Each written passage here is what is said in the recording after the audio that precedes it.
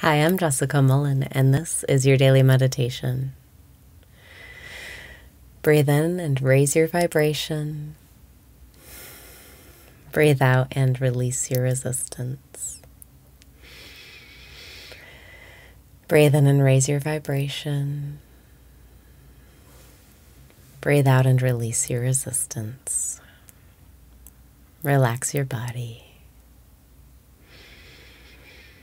Breathe in and say yes to what is. Breathe out and welcome what is. You're in the right place at the right time. You're doing everything right. Breathe in and lighten up. It's not serious. Breathe out and surrender. The more you let go, the more it flows.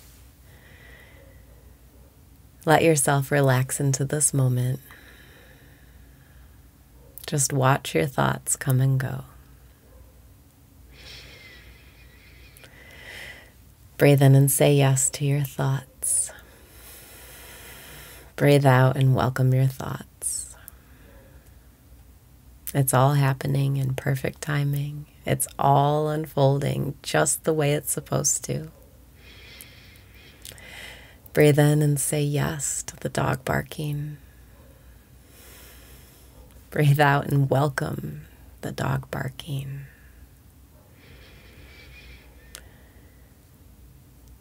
When we get caught up in the way we want things to be or the way we think things should be, it causes stress and it causes suffering. But we can end our suffering by choosing to not believe these stressful thoughts. Breathe in and notice what you're thinking. Breathe out and notice what you're feeling. If you're not sure exactly when you're thinking stressful thoughts, just notice how you feel emotionally. If you feel good, you're probably not thinking stressful thoughts, but if you feel bad, there are probably some thoughts that you can look at. Breathe in and ask yourself how you're feeling. Breathe out and notice the thoughts connected to how you feel. Lately, I've been obsessed with Byron Katie's The Work, and it's really helpful in managing thought, dealing with being human, having thoughts. Breathe in and welcome what is. Breathe out and let yourself receive the work of Byron Katie can be summed up by her rhyme Judge your neighbor, write it down, ask four questions, and turn it around. The idea is you identify a stressful thought, like, that dog shouldn't be barking. And then you ask, is that really true?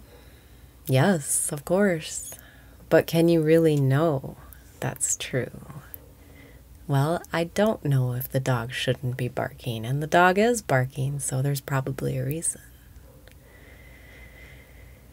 Finally, ask yourself how do I feel when I react to the thought that dog shouldn't be barking? I feel pissed. I feel annoyed. I feel inconvenienced. And lastly, ask yourself who would I be without that thought the dog shouldn't be barking? I would be peaceful, accepting. Who cares?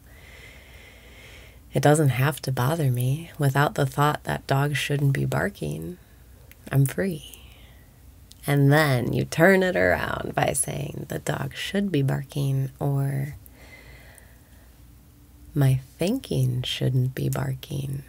Whatever you're judging or blaming or having a problem with, change it to yourself or your thinking. Breathe in and feel so empowered to look at your thoughts.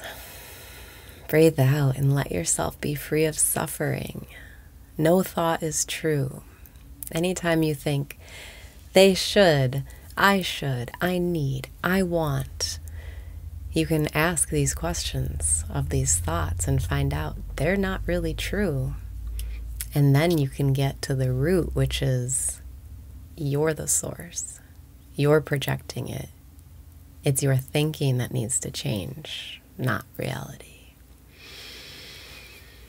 Breathe in and be in control of your vibration today. Breathe out and stand up to your thoughts today. Be still and sit with yourself and watch what you're thinking and ask are these thoughts even true? They're not.